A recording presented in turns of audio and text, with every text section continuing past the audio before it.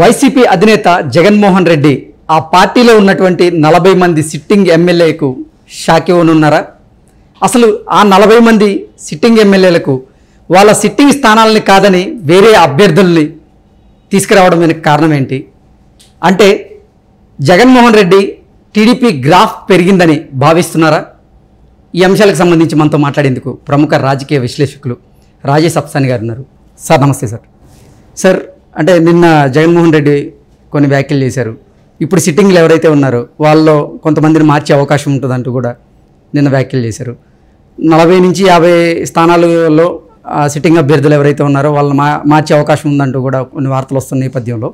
అసలు అంటే వాళ్ళని మార్చాల్సిన అవసరం ఎందుకు వస్తుంది? అంటే ఏం చెప్తారు సార్? అంటే ఈ చంద్రబాబు అరెస్ట్ తర్వాత ఆయనలో ప్రజా వ్యతిరేకత పెళ్ళుబికిన నేపథ్యంలో భయాందోళనలు ఆ భయపడి దాని కారణం చేతే అభ్యర్థులను మారుస్తున్నారు అనుకోవచ్చా? లేదంటే ఇతరత్ర కారణాల చేత ఈ అభ్యర్థులను ఈ సిట్టింగ్ ఎమ్మెల్యేలను వాళ్ళకి షాక్ ఇస్తున్నారు అనుకోవచ్చు సార్? ఇప్పుడు జగన్మోహన్ రెడ్డి గారు తన పార్టీకి సంబంధించిన కొంతమంది ఎమ్మెల్యేలని ఎమ్మెల్యేని రేపు రాబోయే ఎన్నికల్లో అభ్యర్థులుగా ప్రకటించరు ప్రత్యామ్నాయ అభ్యర్థులను ఎంచుకుంటారు అనేది ఈ రోజుకి ఈరోజు వచ్చిన వార్త కాదు. ఆయన గడప గడపకు మన ప్రభుత్వం అని చెప్పిన కార్యక్రమం టేకప్ చేసినాడే ఆయన చాలా స్పష్టమైన సంకేతాలు ఇవ్వడం జరిగింది. ప్రజల్లో నా పట్ల అరవై శాతం యాక్సెప్టెన్స్ ఉంది. కానీ మీ పట్ల నలభై శాతం మాత్రం యాక్సెప్టెన్స్ ఉంది. మీరు ఇరవై శాతం వెనకబడి ఉన్నారు. ప్రజల దగ్గరికి మీరు వెళ్ళ వెళ్ళాలి. ప్రతి గడపని కల- మీరు ప్రతి గడపని తొక్కాలి. ప్రజలతో మమేకం అవ్వాలి. వాళ్ళ సమస్యను అడ్రస్ చేయాలి. ఒకవేళ మీ పట్ల ఏదైనా వ్యతిరేకత వ్యక్తమైన ఒకటి రెండు సార్లు మూడు సార్లు మీరు ప్రజలతో కలుస్తూ ఉన్నప్పుడు ఆ వ్యతిరేకత కూడా తగ్గటానికి వాళ్ళలో ఉన్న కోపం ఆవేశం చల్లబట్టడానికి కూడా ఆస్కారం ఉంది. మీరు ప్రజలతోటి రెగ్యులర్గా ఇంటరాక్ట్ అవ్వాలి. నేను ప్రతి ఎమ్మెల్యే ఎన్ని సచివాలయాలు సందర్శిస్తూ ఉన్నాడు ఎంత టైం స్పెండ్ చేస్తూ ఉన్నాడు అనేది నేను ఫీడ్బ్యాక్ తెప్పించుకుంటా ఉన్నా. నేను ఎప్పటికప్పుడు మీ మీకు సంబంధించిన పనితీరు నే- నేను అంచనా వేసుకుంటా ఉన్నా. రేపటి రోజున ఈ పనితీరు ప్రాతిపదికగానే రేపటి రోజున మళ్ళీ తిరిగి ఎమ్మెల్యేలుగా అభ్యర్థులుగా అవకాశం కల్పిస్తాం తప్ప మీరు ఇప్పుడు నేను చెప్పిన ఆదేశాలు పాటించకుండా ప్రజలతో మమేకం అవ్వకుండా కార్యక్రమాన్ని విజయవంతం చేయకుండా రేపు ఎమ్మెల్యేగా మిమ్మల్ని తప్పించానని చెప్పని ఆ రోజు నన్ను ఆక్షేపించుకోవడం ప్రయోజనం ఉండదు. నేనైతే కఠినమైన నిర్ణయాలు తీసుకుంటానని చెప్పని దాదాపుగా ఈ గడప గడపకు మన ప్రభుత్వం అనే కార్యక్రమాన్ని అనౌన్స్ చేసే ముందు నుంచి కూడా ఒక మూడు నాలుగు వర్క్షాపులు పెట్టి ఆయన పదే పదే చెప్తా వచ్చారు. అటువంటి నేపథ్యంలోనే కొన్ని కొన్ని నియోజకవర్గాలు ఆల్రెడీ అక్కడ స్థానికంగా ఉన్న ఎమ్మెల్యేలని కాదు అని చెప్పని వేరే ఇన్ఛార్జిని కూడా పెట్టడం జరిగింది. ఉదాహరణకి తాడికొండ ఎమ్మెల్యేగా ఉన్న ఉండవల్లి శ్రీదేవి గారిని ఆమెను తప్పించి అక్కడ ఎమ్మెల్సీగా ఉన్న డొక్కా మాణిక్వర ప్రసాద్ గారిని ఇన్ఛార్జిగా ప్రకటించారు. ఆ ఆయన్ని కూడా తప్పించిన తర్వాత కత్తెర సురేష్ గారు అని చెప్పని ఇప్పుడు ప్రస్తుతం ఆయన తిరుగుతూ ఉన్నారు. ఇట్లా కొన్ని కొన్ని నియోజకవర్గాల వైపు కొన్ని సాహసించి అంటే ఆనం వెంక రామనారాయణ రెడ్డి గారి నియోజకవర్గంలో అక్కడ నేదురుమల్లి రామరెడ్డి గారిని అక్కడ ఇన్ఛార్జ్గా ప్రకటన చేయటం కోటరెడ్డి శ్రీధర్ రెడ్డి గారి నియోజకవర్గంలో కూడా ఆదాల ప్రభాకర్ రెడ్డి గారిని ఇన్ఛార్జ్గా ప్రకటించడం ఇవన్నీ మనం కొన్ని చూస్తున్నాం మనం. మీరు ప్రజలతోటి రెగ్యులర్గా ఇంటరాక్ట్ అవ్వాలి. నేను ప్రతి ఎమ్మెల్యే ఎన్ని సచివాలయాలు సందర్శిస్తూ ఉన్నాడు ఎంత టైం స్పెండ్ చేస్తూ ఉన్నాడు అనేది నేను ఫీడ్బ్యాక్ తెప్పించుకుంటా ఉన్నా. నేను ఎప్పటికప్పుడు మీ మీకు సంబంధించిన పనితీరు నే- నేను అంచనా వేసుకుంటా ఉన్నా. ఇటువంటి నేపథ్యం ఏంటంటే జగన్మోహన్ రెడ్డి గారు ఆయనేమి సస్పెషన్లకు పోటల్లా. అంటే ఏ అభ్యర్థులు అయితే అంటే ఆయన ఏమనుకుంటున్నారంటే అభ్యర్థుల ప్రాతిపదికగా రేపు ఓట్లు జరగవు. నేను నా కృషి నా ప్రభుత్వం నేను ప్రజలకు మేలు చేశానా లేదా అనే ప్రాతిపదిక మీద జరుగుతుంది. అభ్యర్థుల మీద ఉండే వ్యతిరేకత రేపు అది నా గెలుపుకు ప్రతిబంధకం కాకూడదు అనే ఉద్దేశంతో ఆయన ఒక అంటే గతంలో రెండు వేల పద్నాలుగు రెండు వేల పంతొమ్మిది ఎన్నికల్లో ఆయన వీలైనంత వరకు ఫ్రెష్ క్యాండిడేట్స్ని తీసుకోవడం జరిగింది. చాలామంది అంతకుముందు రాజకీయ జీవితంలో ఎక్కడ పేరు బయటకు కూడా తెలియని వ్యక్తులుగా ఆయన అవకాశం ఇచ్చారు. ఆ ప్రయోగం ఆయనకు ఫలించింది. ఇప్పుడు కూడా ఏంటంటే పార్టీ అధ్యక్షుడిగా ముఖ్యమంత్రిగా తను అంటే ముఖ్యమంత్రి కన్నా కూడా పార్టీ అధ్యక్షుడిగా. తన పార్టీ నుంచి ఎవరిని పోటీ చేయించాలనేది ఆయనకు పూర్తిగా ఆయన డిస్క్రిప్షన్ అది.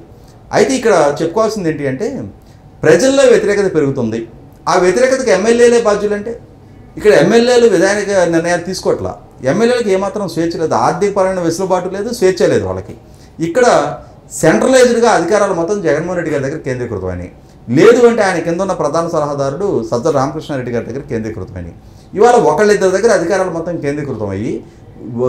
ఏ చిన్న నిర్ణయం జరిగినా వాళ్ళ స్థాయిలోనే నిర్ణయాలు జరగాల్సిన దగ్గర ఎమ్మెల్యే అనే వాళ్ళు ఒక నిమిత్త మాత్రులుగా మారిపోయి ఆఖరికి మంత్రులకు కూడా స్వేచ్ఛగా నిర్ణయాలు చేసుకునే వెసులుబాటు లేని దగ్గర ప్రజల్లో వ్యతిరేకత పెరిగితేనే అది ఎమ్మెల్యేలది మంత్రులది అనుకూలత ఉంటేనే ఉంటేనేమో అది నేను బటన్ నొక్కడం వల్ల అది నా క్రెడిబిలిటీ అని చెప్పని జగన్మోహన్ రెడ్డి గారు చేసుకుంటారు ప్రచారం నూటికి నూరు పళ్ళు. ఎమ్మెల్యేలు కూడా వాళ్ళు సహించడానికి సిద్ధంగా లేరు దాన్ని స్వీకరించడానికి సిద్ధంగా లేరు.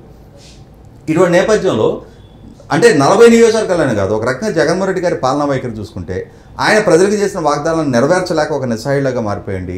పౌర సేవలు కూడా సక్రమంగా అందించలేని పరిస్థితిలో ఉండి వాళ్ళ సివిక్ కమ్యూనిటీస్ కూడా ప్రాపర్గా మెయింటైన్ అవ్వకుండా గుంతలు పడిన రోడ్లు కరెంటు కోతలు దోమల బెడత నిత్యావసరాల ధరల దగ్గర నుంచి వాళ్ళ ప్రతి వస్తువుకు కూడా ధరలు విపరీతంగా మండిపోతూ ఉండి పౌర సేవల పర- పరంగా చూసుకున్న కూడా విపరీతంగా లంచగొండితనం పెరిగిపోయిన నేపథ్యంలో ప్రజలు కూడా ఆఖరికి రేషన్ సరుకుల ధరలు కూడా పెరిగి గతంలో ఇచ్చిన రేషన్ సరుకులు కూడా పూర్తి స్థాయిలో ఇవ్వని పరిస్థితి. ఆర్టీసీ ఛార్జీలు పెరిగినాయి కరెంటు ఛార్జీలు పెరిగినాయి ఇంటి పన్ను పెరిగింది చెత్త పన్ను విధించారు కొత్తగా. ఇట్లా ప్రతిదీ ప్రజలకి జీవన ప్రమాణాలు పడిపోతూ ఉన్నాయి. జీవన అంటే కాస్ట్ ఆఫ్ లివింగ్ పెరుగుతూ ఉంది.